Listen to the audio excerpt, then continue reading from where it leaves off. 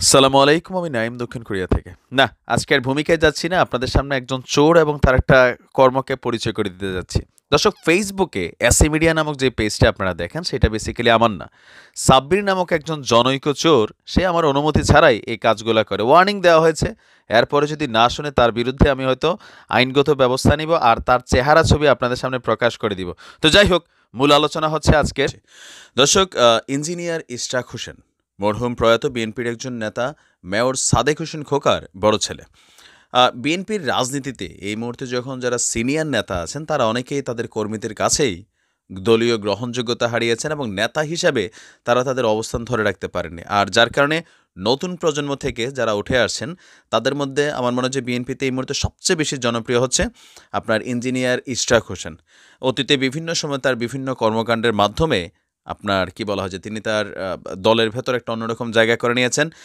আর সেই কারণেই বিভিন্ন প্রোগ্রামে তিনি দাওয়াত পান। আপনাদের খেয়াল থাকার কথা যে কি বলা হয় যে সাবেক প্রতিমন্ত্রী মুরাদ হাসানকে নিয়ে তার যেই তারেক রহমানের মেয়ে জাইমা রহমানকে নিয়ে তার দেওয়া বক্তব্যকে কেন্দ্র করে সারা বাংলাদেশের বিএনপির সকল সিনিয়র নেতারা, কর্মীরা সেটা নিয়ে সমালোচনা করেছেন, আলোচনা করেছেন, প্রতিবাদ বিক্ষোভও করেছেন। তো তারই ধারাবাহিকতায় আপনার কয়েকদিন আগে ঢাকার ইঞ্জিনিয়ার্স ইনস্টিটিউটে দলীয় একটি সভায় বক্তব্য দিয়েছিলেন ইশরাক হোসেন। সেই বক্তব্যে তিনি আবার মুরাদ হাসানকে ধুয়ে দিয়েছিলেন মনের রাগ গোসা ক্ষোভ থেকে। তবে সেইখানে তিনিও ধুতে গিয়ে একই অপরাধ করেছেন যে তিনিও রাজনৈতিক শিষ্টাচার বহির্ভূত কিছু শব্দ ব্যবহার করেছেন। এখন সেই শব্দ ব্যবহারের পরে বিএনপির বা বাংলাদেশের অন্যান্য যারা যে দলগুলো আছে, তারাও সেটা সমালোচনা করেছেন বা তার যারা সাপোর্টার আছে, তারাও বলছেন যে, ইশরাক ভাই, আপনার কাছ থেকে এটা আশা করি নাই। তো সকল কিছুর পরে আপনার ইঞ্জিনিয়ার ইশরাক হোসেন। আমি মনে করি যে মানুষ মাত্রই ভুল, তিনি তার একটা ভুল বক্তব্য দিয়েছেন আর দেওয়ার পরে তিনি সেটার জন্য খুব সুন্দরভাবেই আবার ক্ষমা প্রার্থনা করেছেন। যারা তার সাপোর্টার আছেন, যারা তার রাজনৈতিক নেতা আছেন বা গুরু আছেন, সেখানে তিনি একটা বক্তব্য দিয়েছেন ভিডিওটা। আমি আপনাদেরকে দেখাচ্ছি। তবে শুরুতে তিনি যেই কথাগুলো বলেছেন যে, যারা আমার বক্তব্যগুলো নিয়মিত দেখেন, আমাকে পছন্দ করেন, অনেক মুরব্বীরা রয়েছেন, নতুন প্রজন্মের অনেক ভাই বোনেরা রয়েছেন। আমি সবার কাছে মূলত ক্ষমা প্রার্থী যে আমার ভুল হয়ে গেছে। আগামীতে আমি চেষ্টা করব এই ধরনের ঘটনার যাতে পুনরাবৃত্তি না ঘটে। বিসমিল্লাহ রহমান রহিম। প্রিয় দেশবাসী, আসসালামু আলাইকুম। আমি ইশরাক হোসেন, আপনাদের সামনে আজকে উপস্থিত হয়েছি। কিছু দু একটি কথা বলার জন্যে। প্রথমে আমি আসলে যে সবচেয়ে গুরুত্বপূর্ণ যে কথাটি আজকে বলতে চাই, সেটি হচ্ছে যে কয়েকদিন আগে আমাদের দলীয় একটি সভা হচ্ছিল ঢাকার ইঞ্জিনিয়ারিং ইনস্টিটিউটে তো সেখানে বক্তব্য দিতে গিয়ে আমি এক পর্যায়ে আমার আবেগকে আর ধরে রাখতে পারিনি এবং আমি রাজনৈতিক শিষ্টাচার বহির্ভূত এবং অশালীন কিছু শব্দ ব্যবহার করেছি, সদ্য বহিষ্কৃত হওয়া একজন মন্ত্রীর বিরুদ্ধে। আমাদের যারা দর্শক শ্রোতা রয়েছেন, যারা নিয়মিত আমাকে আমার বক্তব্যগুলোকে দেখেন এবং আমাকে পছন্দ করেন এবং অনেক মুরব্বিয়ানরা রয়েছেন, অনেক নতুন প্রজন্মের ছোট ভাইয়েরা, বোনেরা রয়েছেন, তো আমি সবার কাছে, ওনাদের কাছেই মূলত ক্ষমা প্রার্থী যে আমার এই ভুলটি হয়ে গিয়েছে এবং আমি ইনশাল্লাহ আগামীতে চেষ্টা করব সর্বোচ্চ যাতে এটি আর পুনরাবৃত্তি না ঘটে।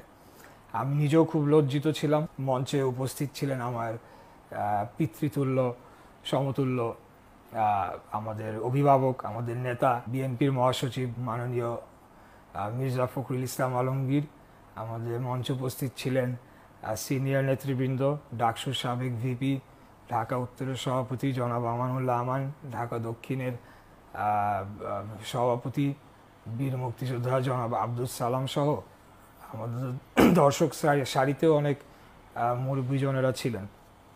তো আমি এটা কোনো অজুহাত হিসাবে বলতে চাচ্ছি না, কিন্তু জাস্ট আপনাদেরকে প্রেক্ষাপটটা বর্ণনা করতে চাচ্ছি যে আসার পথে, প্রোগ্রামে যাওয়ার পথে আমি সেই ব্যক্তির একটি ভিডিও শুনছিলাম, যেখানে আমাদের নেত্রী কারাবন্দি নেত্রী, দেশনেত্রী বেগম খালেদা জিয়া। এখন আমরা একটি অত্যন্ত স্পর্শকাতর অবস্থায় বিএনপির নেতাকর্মীরা রয়েছি। সেই মুহূর্তে আসলে এই কথা এই ধরনের মন্তব্য এবং কথাগুলা আমাদেরকে খুবই আঘাত হানে এবং আমি ব্যক্তিগতভাবে আমার নিয়ন্ত্রণ হারিয়ে ফেলি। এটি কোনোভাবেই কাম্য না।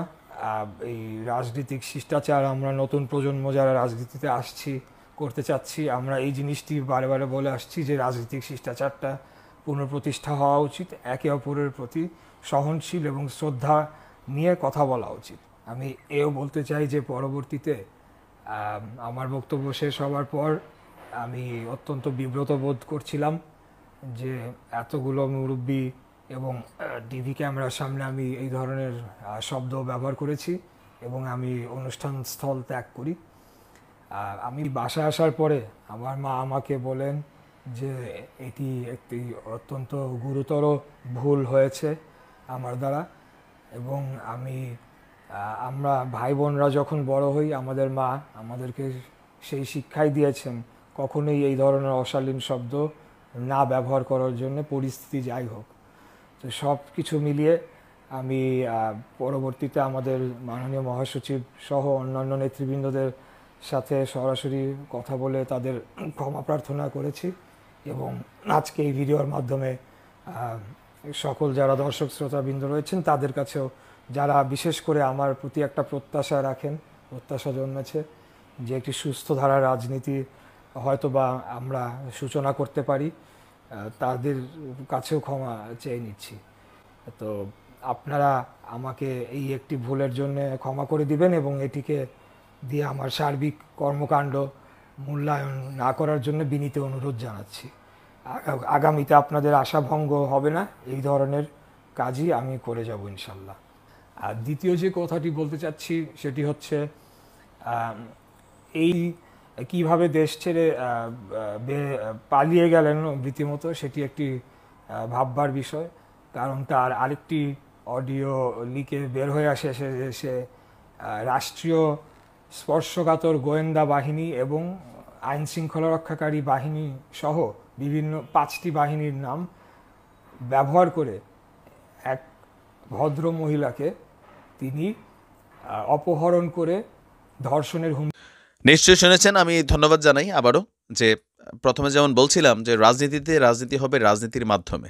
এখন অন্য দলের বা রাজনৈতিক নেতাদের চরিত্র হনন করে বা তাদের পরিবার নিয়ে কটূক্তি করলে দলে হয়তো একটু ভালো জায়গা পাওয়া যায় বা সাময়িকভাবে দলের ভিতরে এগুলো দিয়া মজা নেওয়া যায়। কিন্তু পরবর্তী সময় মুরাদ হাসান যেমন আজকে দেখেন, মুখ লুকাইয়া দেশ থেকে বের হয়েছে আবার মুখ লুকাইয়ে দেশে প্রবেশ করছে, এক ধরনের আত্মগোপনে চলে গেছে, কারোর কাছে জায়গা পাচ্ছে না।